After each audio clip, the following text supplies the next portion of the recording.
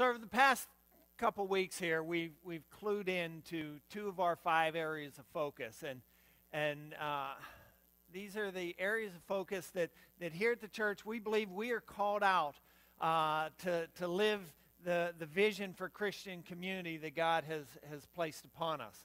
Okay, and and two weeks ago we began by looking at worship, and worship was an opportunity for imitation of the Almighty. Okay, it was a time honored tradition of glorifying God, not simply by participating in event, be it in person or online, but by living a lifestyle. Worship embraces a sacrifice of praise as, as a lifestyle worthy of God's call. Okay? Last week, we found that, that forgiveness is, is key to living a life of hospitality. Okay? Knowing firsthand the forgiveness of God despite our own failures, when we, when we misstep or when we misspeak or, or lash out for whatever reasons, it's paramount to providing a safety net in which people are able and willing to forge an authentic rapport with others and with, with God. Hospitality is contingent upon others being able to trust us, to trust that, that forgiveness is real, trust that we are indeed representatives of the faith and the life and the God that we proclaim and profess to love with all of our heart, soul, mind, and strength. Today, today we are encouraged to yield completely to Christ. To yield completely to Jesus through a life dedicated to discipleship. I want you to hear the word of God as it, as it comes to us from, from the Apostle Peter in his letter to the church uh, in Asia and Asia Minor. You are a people, a chosen people, a royal priesthood, a holy nation, God's special possession, that you may declare the praises of him who called you out of darkness into his wonderful light. Once you were not a people. Now you are God's people. Once you had not received mercy, but now you have received mercy. Dear friends, I urge you as foreigners and exiles to abstain from sinful desires which wage war against your soul. Live such good lives among the pagans that though they accuse you of doing wrong, they may see your good deeds and glorify God on the day that he visited us, that he visits us. Word of God for the people of God. Thanks be to God. I want you to understand the significance of Peter's language here. He, he's using language that, that has previously only been applied to the people of Israel what he's doing is instilling within believers that it doesn't matter what the world thinks. Belief does not cater to disbelief. And if you look at the descriptions that, that Peter uses to describe faithful ones, see words like chosen, people belonging to God, a priesthood declaring the praises of Him who called you? Peter's using what we would, would, would call Old Testament language, and, and what he's doing is he's enlarging Israel's identity as a chosen nation. Reality, he's speaking of a new nation, the Christian nation. It's a nation truly under God and without borders, encompassing all nationalities, all shapes, all sizes, all colors, all ethnicities, all communities. Christians will be found anywhere and everywhere. And as believers, we're called to be holy and set apart for God.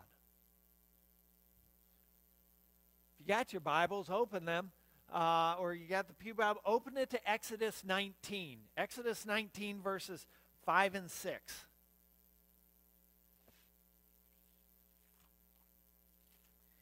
In Exodus 19, verses 5 and 6, Peter's echoing back, okay, and, and, and when the God of all nation declares, God of all creation declares, he says this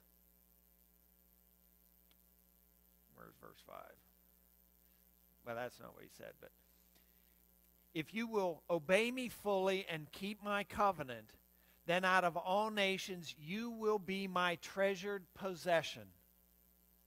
Although the whole earth is mine, you will be for me a kingdom of priests and a holy nation. These are the words you are to speak to the Israelites. A life of discipleship brings with it the blessing of God. You are a treasured nation. Disciples are a treasured possession set apart to declare the praises of the Almighty. Opening the door of our heart to Jesus grants us the blessing as children of God. And oh, what a blessing it is. Do you comprehend the magnitude of being valued by the Creator of heaven and earth? God cherishes you just as God cherishes me. And, and He cherishes everyone so deeply, He knows all there is to know about us. That says so much about divine love. King David understood just how important he was to God when he wrote the, the 139th Psalm. If you look at the 139th Psalm, I'm, I'm just going to share a couple of the verses uh, that, that come from that. Okay?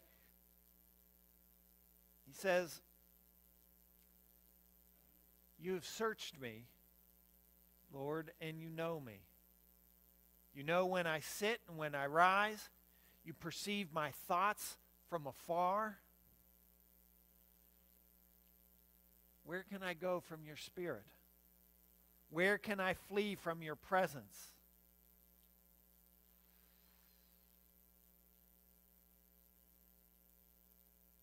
If I say, Surely the darkness will hide me and the light become night around me, even the darkness will not be dark to you. You created me in my inmost being. You knit me together in my mother's womb. I praise you because I am fearfully and wonderfully made. Your works are wonderful.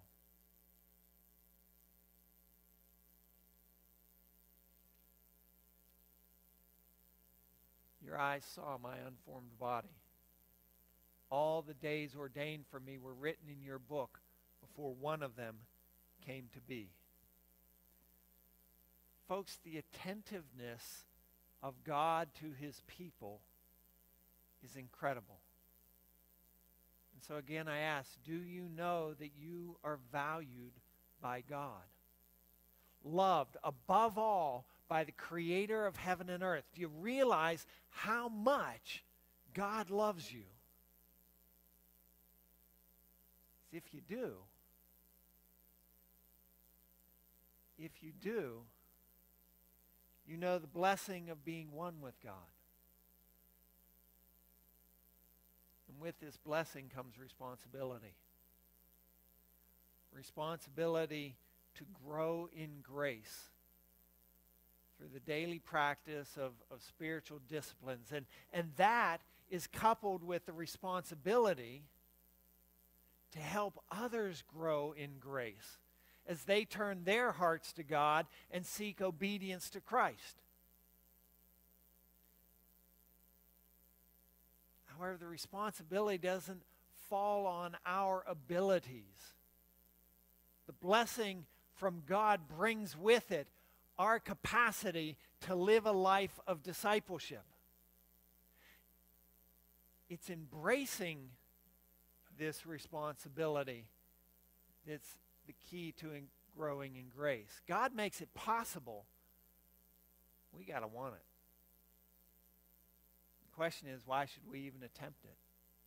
Why should we attempt to grow in grace? Let me ask you this Who's the most important person in your life? Now, I can come up with a list of people, okay? And I'm sure you can too. But who, excluding God at this point, who is the most important? Now, for most of us, our answer is going to be dependent upon the context in which the question is asked. If you ask me while I'm here at church uh, throughout the week, that, that may well uh, answer be answered according to the issue. Okay?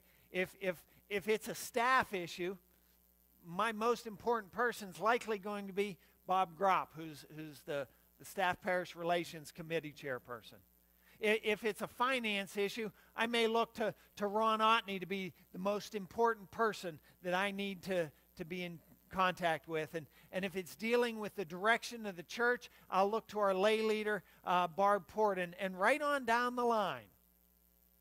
The person most important to me is dependent upon the situation I'm in. Or is it? You might say, well, what about your wife? Shouldn't Susan be the most important person in, in my life, regardless of what's happening in the church or anywhere else?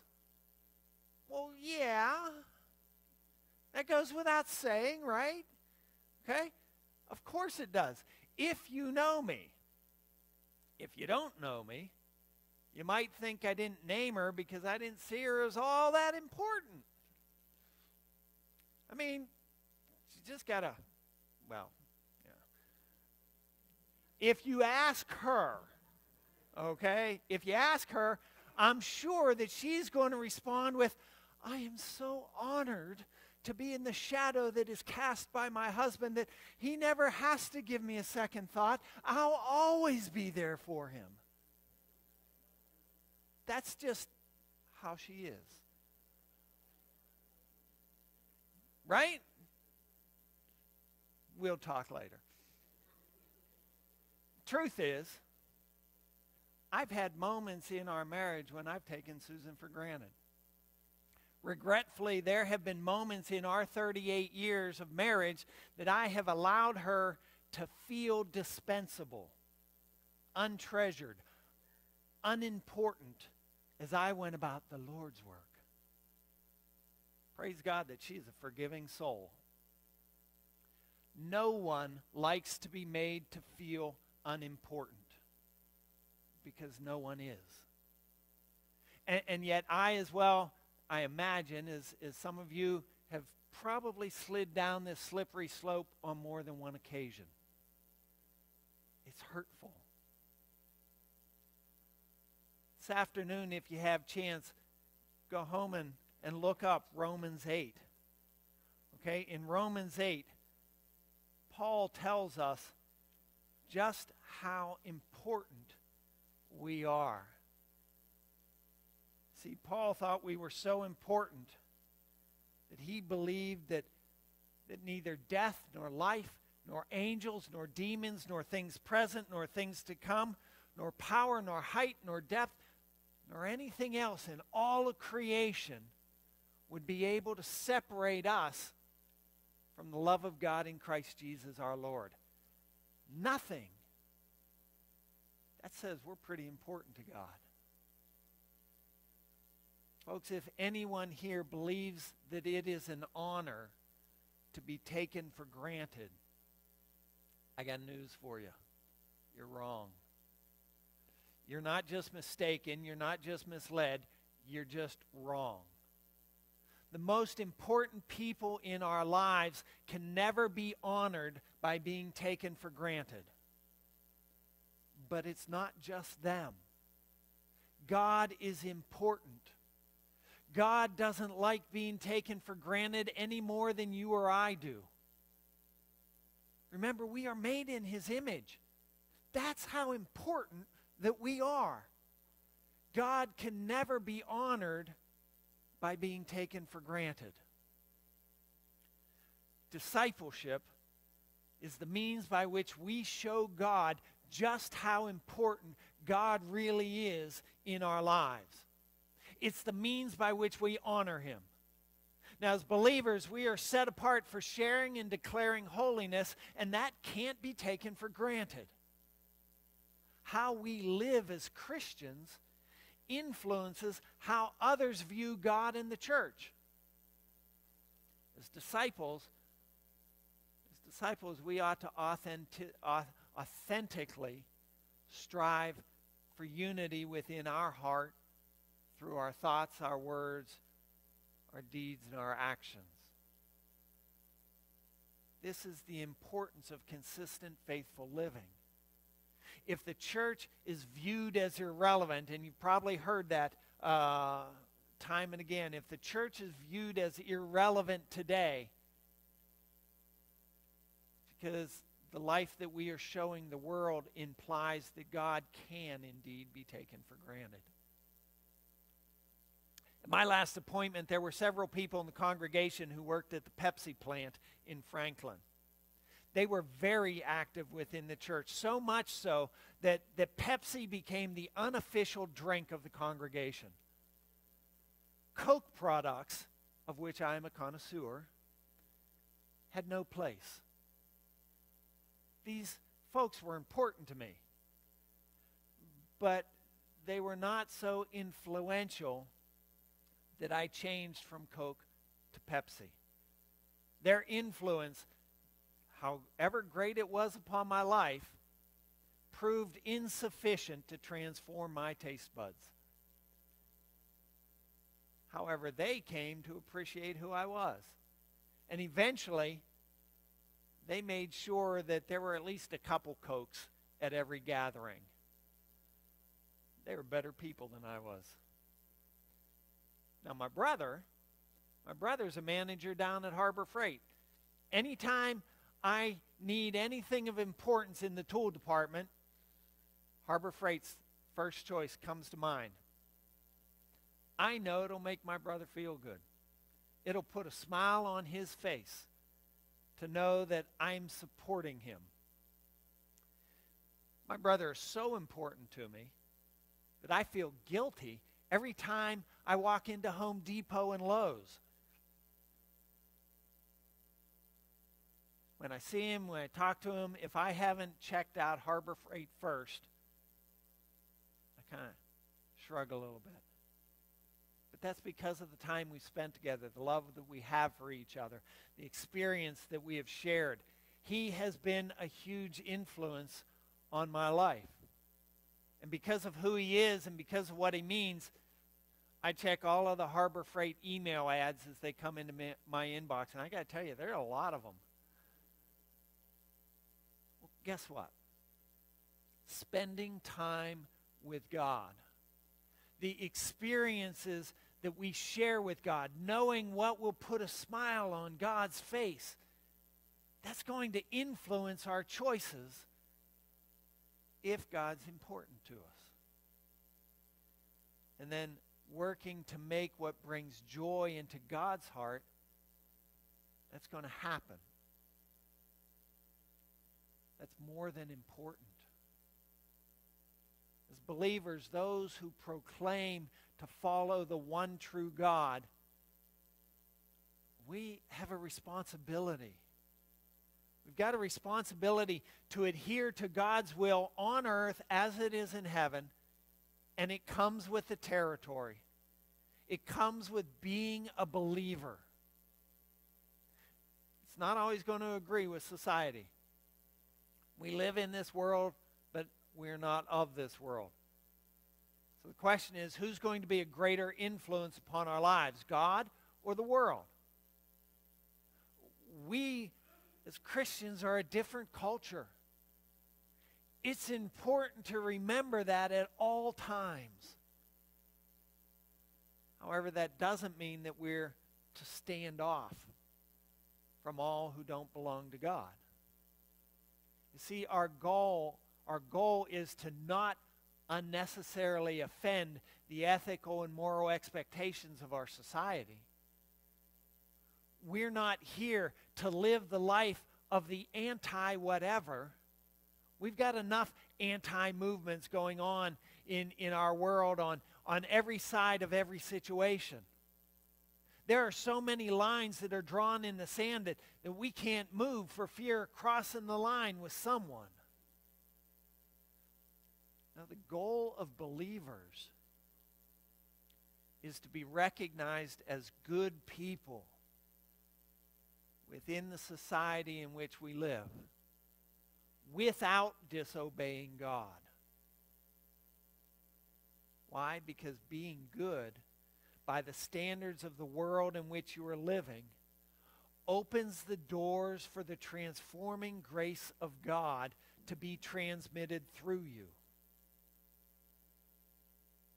As long as the standards are lived without disobeying God.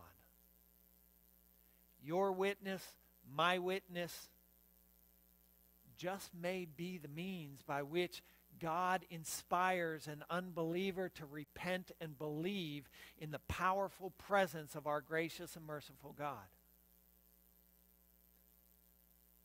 That doesn't mean when in Rome, do as the Romans do. It means that we are so confident, so confident in who God is in our lives that we are not threatened, we are not shaken by who God is not in another's life. It means that you look out for those around you, whether they are believers or unbelievers, whether you like them or you don't like them. You help those who are in need. You feed the hungry. You clothe the naked. You care for the sick. You willingly seek out the lost. It means that regardless of our differences, morally, theologically, intellectually, culturally, whatever, we will treat others with honor and respect. And in this way, we will plant a seed of faith that waits for God to germinate it. To live out our vision to be a transforming, serving church, sharing the love of Jesus with all. To live that vision out means that we're going to take our blessings, we're going to grow in grace. We're going to share the witness of what God has done in our lives so that God will be glorified. God will be glorified through the life of worship in which we honor God in the ways we work, in the way we play, in the way we engage others in relationships. We're going to glorify God through the life of hospitality in which we are intentionally offering forgiveness to all we seek to build relationships with, with all people, churched and unchurched alike, in order to share God's love. God will be glorified through the life of service wherein we join Jesus Christ in mission to others using our God given gifts, talents, and passions. God will be glorified through the life of generosity in which we strive to tithe and consciously work to reorder our lives to free up more resources to honor God and to bless others.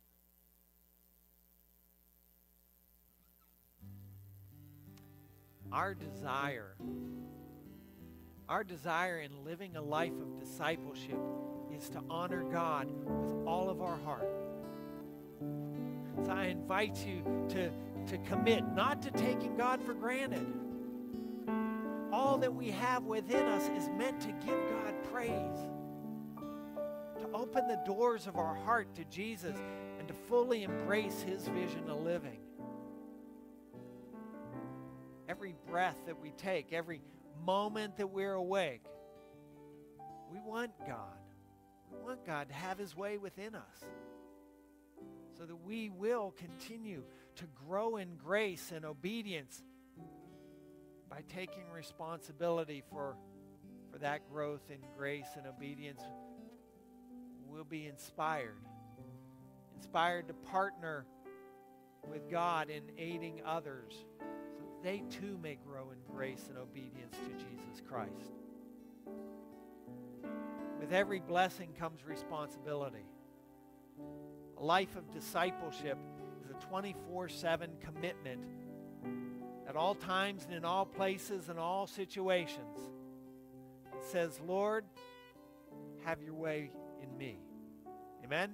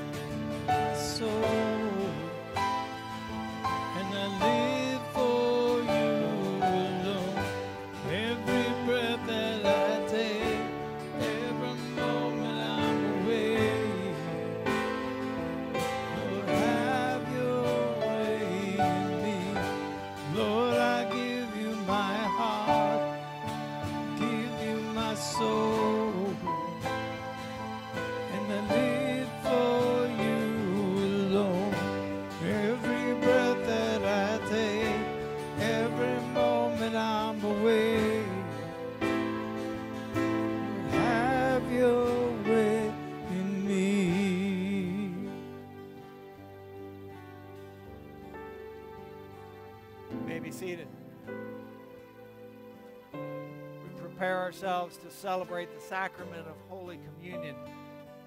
We're coming to the table of the Lord and we're saying, Lord, have your way in me. We're here for you. On the night that Jesus was betrayed, he gathered in the upper room with his disciples and he said,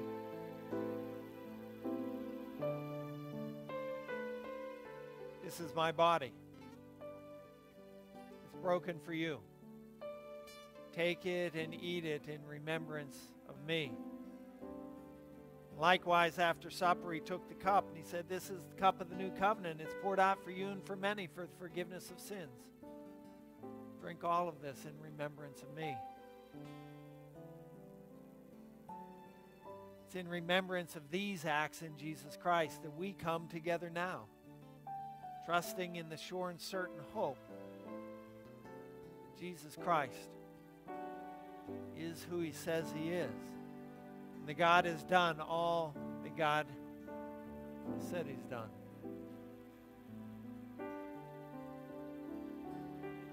Christ invites to his table all who love him, who earnestly repent of their sin and seek to live in peace with one another. As we prepare ourselves to receive these elements, is there anyone who's not received that does not have those at this time? Yeah.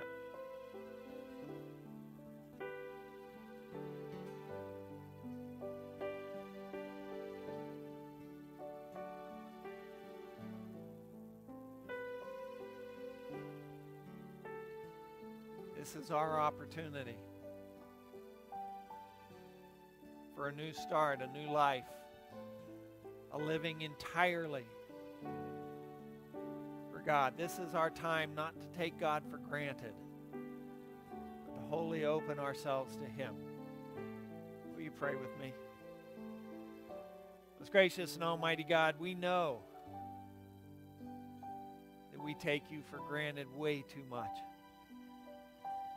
We know, Lord, that, that in this moment, as we give you our heart, as we give you our soul, we're saying, Lord, have your way in me. We don't always love as we ought to love. We don't always live as we ought to live.